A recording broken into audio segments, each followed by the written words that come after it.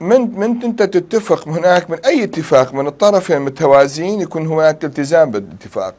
ولكن نحن في العراق مع كل اتفاقاتنا الموجودة مع تركيا ومع إيران الطرفين لا يعتبرون العراق كطرف أساسي كدولة في التعامل حقيقة. وحتى الحكومات العراقية المتعاقبه عندما كانت تتفق مع الدولتين كانت اتفاقات هشة رذيلة. وغير ملتزم بها ولكن تفرض على الجانب العراقي. أنا أعتقد الإيرانيين بهذه العملية آه، ثبتوا للكل بأنه أنتم آه، إحنا نعرفها جيدا ولكن حتى على مستوى الدبلوماسي العالي وحتى مستوى القانون الدولي بأن لا تعتبرون العراق كدولة رديفة إلنا. دولة هي حديقة خلفية لنا ونحن نتصرف بها كما نشاء بأعذار واهية.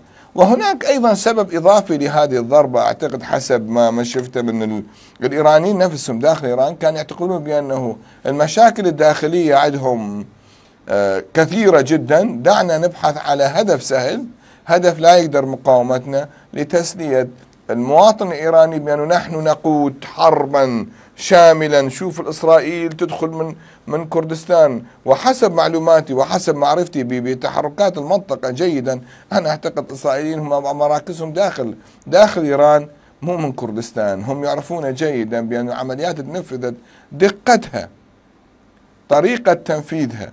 وحجم الضربة لا أعتقد هي دخلت لا من لا من الكويت ولا من العراق ولا من تركيا ولا من أي منطقة وهي صناعة إيرانية بحتة لأنهم لديهم خطوط داخل إيران. التعقيد في هذا المشهد ليس من مصلحة إيران وليس من مصلحة العراق. أنا أعتقد المجتمع الدولي اليوم إذا العراق أصر على شكواها بطريقة علمية وبطريقة دبلوماسية.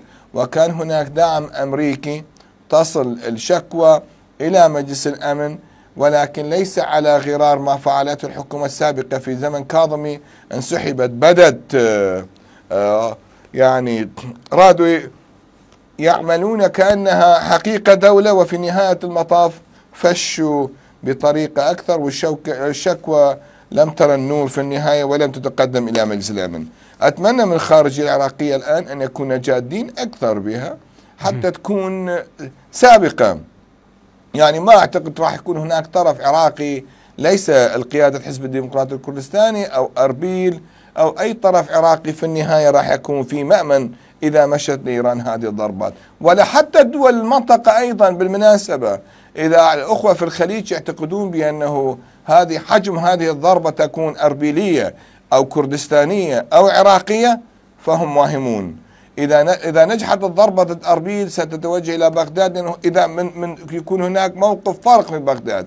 الكويت راح تكون في مداها الرياض تكون منامة اوريدي هي من المناطق المستهدفة آه، الإمارات آه، لأن الطريق خارطة إيران تبحث عن تغيير خارطة المنطقة وتغيير توازن القوى في المنطقة.